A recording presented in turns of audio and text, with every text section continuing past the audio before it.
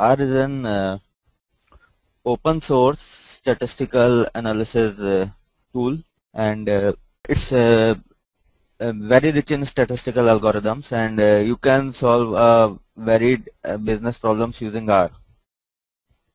Okay, so I will just take you to data warehousing. R is very much capable of uh, doing data warehousing stuff as well. And uh, you can generate reports uh, generate reports in R. So it basically has uh, all the features you uh, expect to be in uh, ETL language or ETL tool extract transform and load.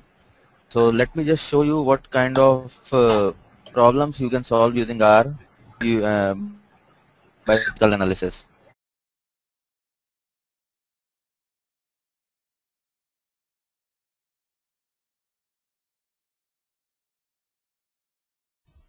uh, you can actually uh, do forecasting so where you have huge volumes of historical data okay you develop some insights from historical uh, that historical data and then you predict what is going to happen in future.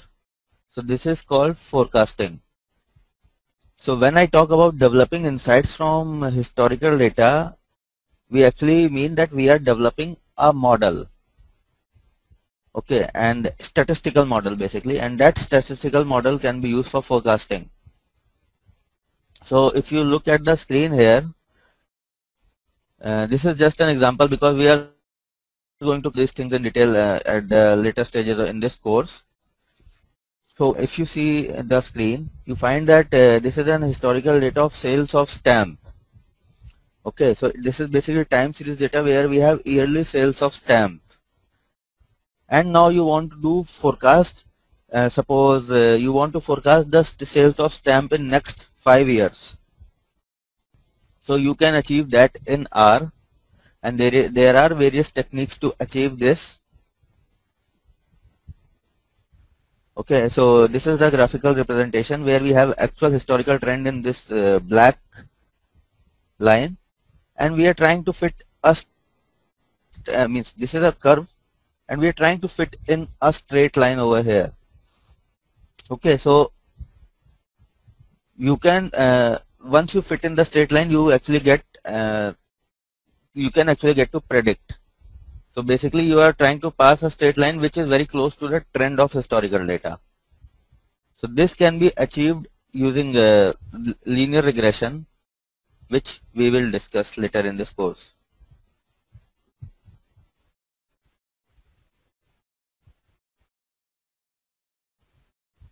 And this uh, forecast can be affected by a variety of factors. So you can consider all those factors into account. Okay, suppose you want to uh, forecast sales of uh, a consumer good product. Uh, suppose sales of uh, Pepsi or Coke. So uh, you must have noticed that sales of Pepsi or Coke uh, increases during the time of uh, Thanksgiving or Christmas during holiday season.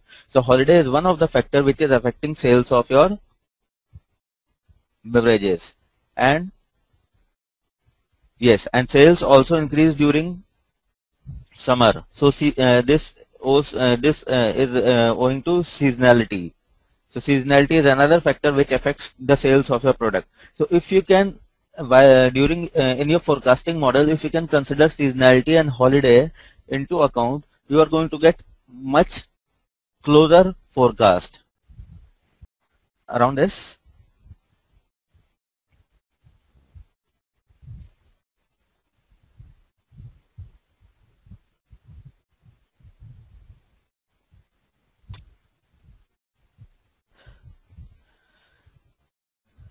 So now uh, you see uh, another example where we are doing market basket analysis. This is another uh, statistical technique we can use in R. Okay, so using this technique you can get insights about patterns of your data. So if you see in here, see we have uh, this is a transaction at a retail outlet. These are the transactions. So in transaction ID 1, a customer purchased bread along with milk. In transaction ID 2, customer purchased bread, diapers. In transaction 3, the same customer or another customer purchase bread, diaper, beer, cola. And then fourth, bread, milk, diaper, beer, and so on. So we have data for five transactions and we want to know what is the most popular pattern in this data or what is the most common transaction. Why we want to know that? Because if we are able to find out that with product A, product B is also uh, being purchased in our shopping mall or retail outlet, we can keep product B along with product A. So this will give you a lift in sales. So this helps you decide uh, in deciding the placement of your products in shopping mall. So here you see uh, what insights we get that diapers, the person who purchases diaper and milk will also purchase beer and cola. Okay, so uh, there uh, there is a popular case study uh, which is being taught in management institutes that uh, diapers are sold. Uh, it it has been observed in the U.S. that beer whenever a person a person purchases beer, he also purchases diaper.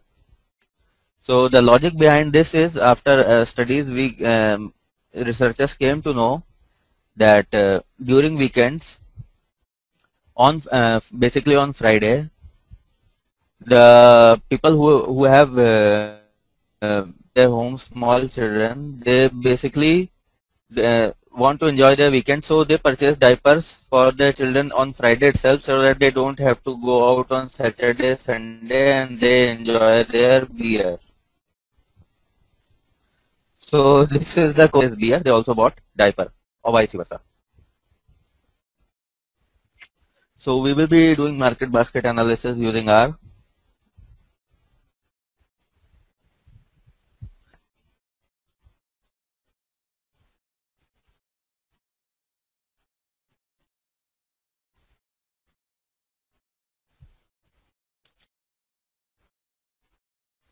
Okay.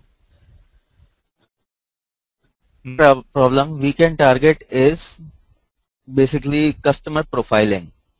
Suppose you have uh, close to, uh, you have a data from, from an entire geography.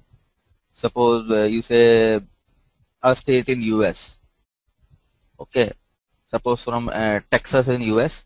That is, uh, and uh, we are an actually suppose an insurance company okay and we want to see what kind of people we should target with what kind of insurance policy. Because we cannot target everyone with every policy. There is a cost associated with every promotion. If uh, even if you give phone call to everyone you cannot uh, have enough resources who can call each and access. So there has to be targeted campaigning. So for that you need to first understand your customer base Okay, so to understand customer base, what we can do, we can segment our market based on behavior behavior of customers.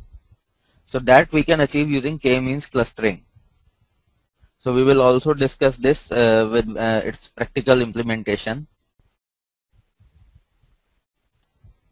So I have just quoted three examples, but there are a numerous set of tasks which you can achieve in R. In fact, Dilly works on, uh, since R is an open source language, a lot of people around the globe are contributing to its uh, statistical algorithms and uh, not even statistical algorithms but data mining algorithms uh, data mining uh, methods algorithm functions uh, all that.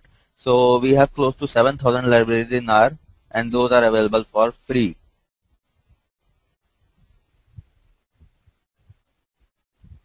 So this is just a start and uh, once you really uh, start working on R you will come to know how rich R as a programming language is. Yes, uh, how much is uh, how much is R different from uh, Apache Mahout? Okay. See Mahout basically okay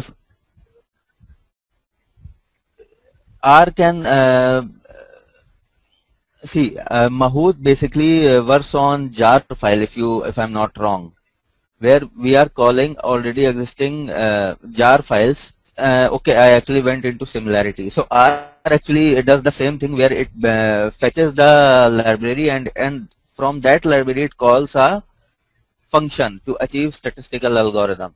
But yes, when we talk about difference, Mahout, not all the algorithms in Mahout, but yes, some of the algorithms in Mahout provide MapReduce functionality. Okay. So R entire processing is uh, being done in memory. However, the, uh, I'm talking about open source or entire processing is being done in memory. However, we also have an advanced version of R which actually does parallel processing. So both we can achieve big data capability using both Mahout and the big data version of R. So big data version of R is basically called Revolution R.